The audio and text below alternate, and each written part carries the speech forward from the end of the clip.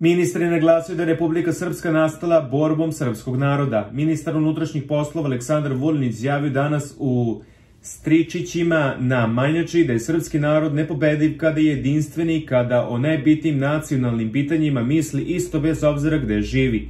Dok Srbiju vodi predsednik Aleksandar Vučić, Republika Srpska će biti čuvana i sačuvana i biti branjena onoliko koliko će biti branjena, čuvana i sačuvana Republika Srbija.